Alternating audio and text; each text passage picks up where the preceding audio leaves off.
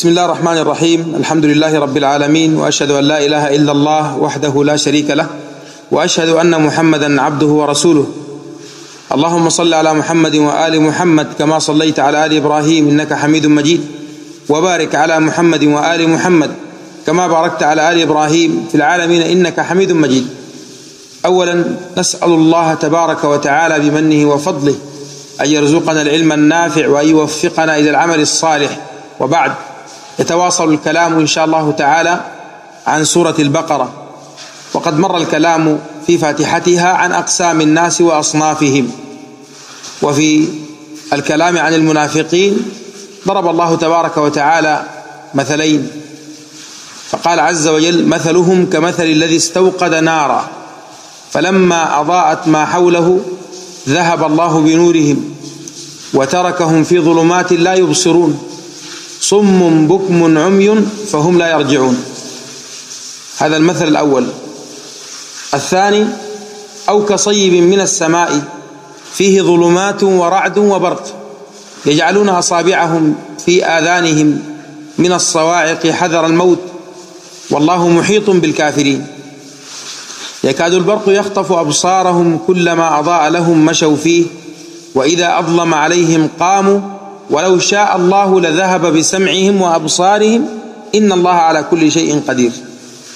مثلهم الكلام راجع إلى المنافقين الذين اشتروا الضلالة بالهدى فما ربحت تجارتهم وما كانوا مهتدين. ومع ذلك فإن أهل التفسير قد قسموا هؤلاء المنافقين إلى أقسام. على ضوء ما ذكره الله على ضوء ما جاء في هذه الأمثال. فمنهم من قال أنها في المنافقين الذين لم يؤمنوا ابدا وإنما أظهروا الإيمان وانتفعوا بإظهارهم للإيمان في هذه الدنيا عصمت به دماؤهم وأموالهم. فهذا معنى قوله عز وجل فلما أضاءت ما حوله وأما قوله عز وجل ذهب الله بنورهم هذا عند الموت عند الموت وهم يخادعون الله تبارك وتعالى وهو خادعهم. فإذا ماتوا انقطع عنهم هذا الذي كانوا يجدونه بسبب إظهار الإيمان والإسلام. هذا قول عند أهل التفسير. وقول آخر أنهم آمنوا ثم كفروا. وهذا الذي رجحه الإمام الحافظ ابن كثير رحمه الله تعالى. نقرأ من تفسيره رحمه الله تعالى. قال يقال مثل ومثل ومثيل والجمع أمثال. قال الله تعالى وتلك الأمثال نضربها للناس وما يعقلها إلا العالمون. يقول رحمه الله تعالى وتقدير هذا المثل أن الله سبحانه شبههم.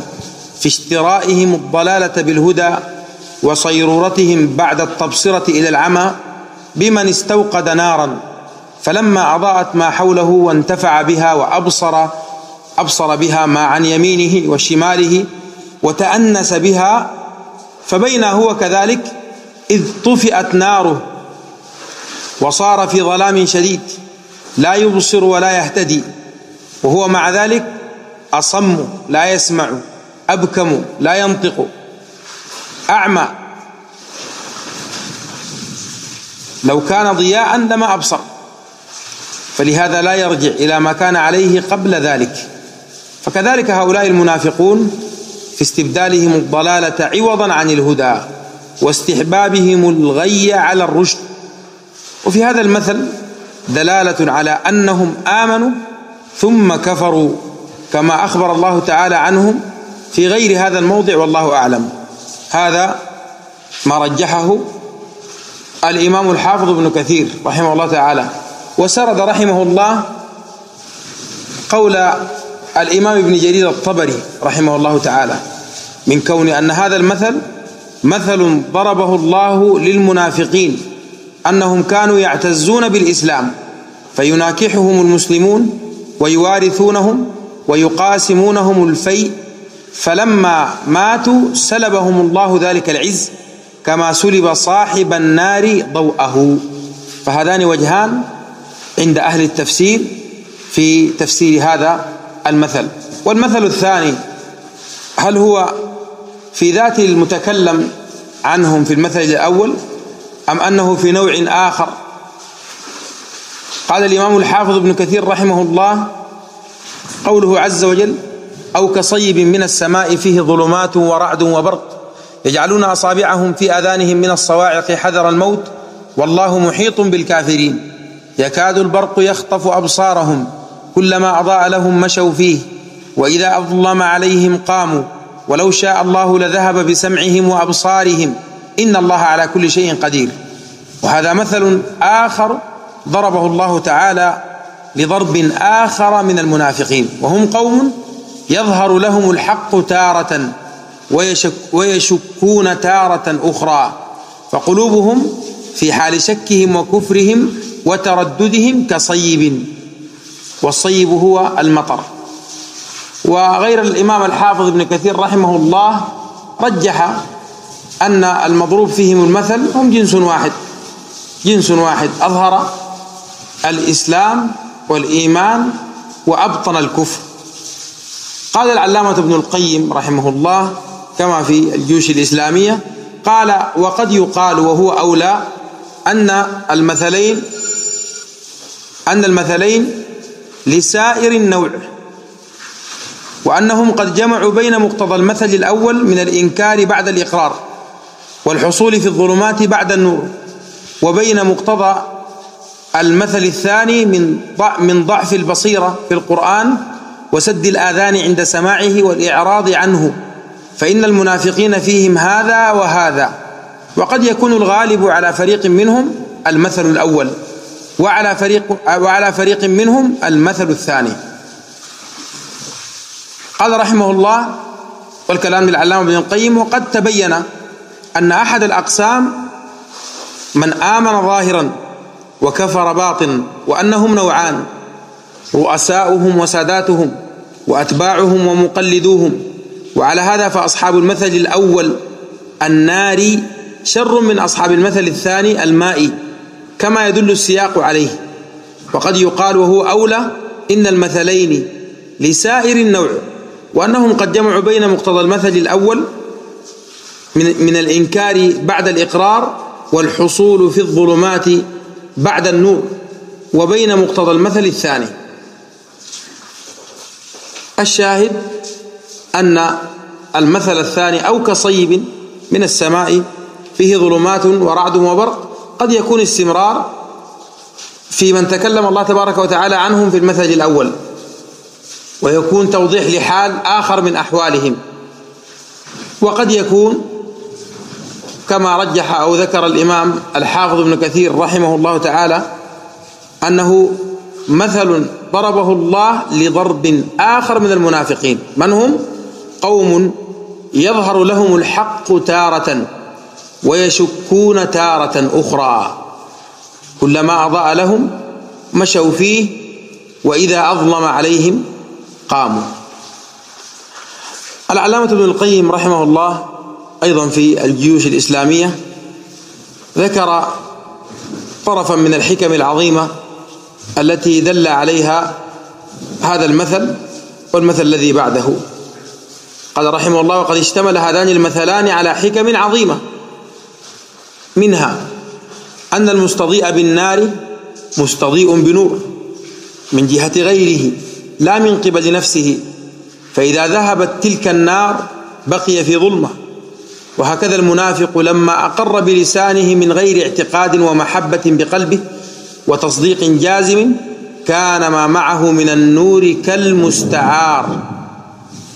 كان ما معه من النور كالمستعار. استوقد نارا. ليس مصدرها يقين ليس مصدرها اعتقاد جازم وإنما إظهار. إظهار للإيمان وإبطان للكفر والعياذ بالله. قال رحمه الله ومنها أن ضياء النار يحتاج في دوامه إلى مادة تحمله. وتلك المادة للضياء بمنزلة غذاء الحيوان. فكذلك نور الإيمان يحتاج إلى مادة من العلم النافع والعمل الصالح يقوم بها ويدوم بدوامها. فإذا انقطعت مادة الإيمان طفئ كما تطفأ النار بفراغ مادتها. وهذا تنبيه قيم وحكمة عظيمة وفائدة جليلة أن نور الإيمان يسقى بالعلم النافع وبالعمل الصالح التقرب إلى الله تبارك وتعالى فينمو وتأتي وتؤت و و ويؤتي ثمرته.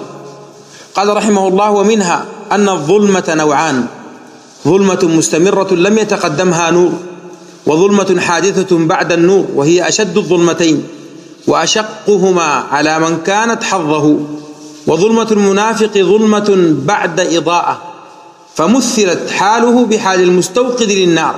الذي حصل في الظلمة بعد الضوء وأما الكافر فهو في الظلمات لم يخرج منها قط. وهذا مثال بديع وحكم صادق واقعي. الظلمة الحاصلة بعد النور هي أشد الظلمتين هذا أمر معلوم بالحس.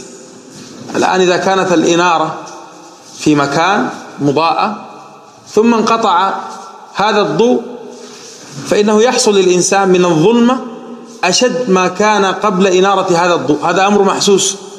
وكذلك الظلمة المعنوية ظلمة الشك والعياذ بالله والكفر. هذه التي تقع للعبد بعد نور الإيمان أشد من مجرد الكفر وأشد من مجرد الشك وأشد من مجرد الضلال. وهذا حال المغضوب عليهم والعياذ بالله. هذا حال المغضوب عليهم. حال من عرف الحق وأعرض عنه ولم يعمل به. قال رحمه الله ومنها أن في هذا المثل إذانا وتنبيها على حالهم في الآخرة وأنهم يعطون نورا ظاهرا كما كان نورهم في الدنيا ظاهرا ثم يطفأ ذلك النور أحوج ما يكونون إليه إذ لم تكن له مادة باقية تحمله ويبقون على الجسر في الظلمة لا يستطيعون العبور. فإنه لا يمكن أحد عبوره إلا بنور ثابت يصحبه حتى يقطع الجسر. فإن لم يكن لذلك النور مادة من العلم النافع والعمل الصالح وإلا ذهب الله تعالى به أحوج ما كان إليه صاحبه. فطابق مثلهم في الدنيا بحالتهم التي هم عليها في هذه الدار وبحالهم يوم القيامة عندما تقسم الأنوار دون الجسر. ويثبت نور ويثبت نور المؤمنين ويطفأ نور المنافقين. الجسر الذي يضرب على جهنم والصراط. قال رحمه الله ومنها هنا تعلم السر في قوله تعالى ذهب الله بنورهم ولم يقل أذهب الله نورهم فإن أردت زيادة بيان وإيضاح فتأمل ما رواه مسلم. رحمه الله في صحيحه من حديث جابر بن عبد الله رضي الله عنهما. وقد سئل عن الورود. يقصد وإن منكم, وإن منكم إلا واردها. فقال نجيء نحن يوم القيامة على تل فوق الناس. قال فتدعى الأمم بأوثانها وما كانت تعبد الأول فالأول. ثم يأتينا ربنا تبارك وتعالى بعد ذلك فيقول من تنتظرون؟ فيقولون ننتظر ربنا. فيقول أنا ربكم. فيقولون حتى ننظر إليك. فيتجلى لهم يضحك. قال فينطلق بهم ويتبعونه. ويعطى كل إنسان منهم منافق أو مؤمن نورا. ثم يتبعونه على جسر جهنم كلاليب.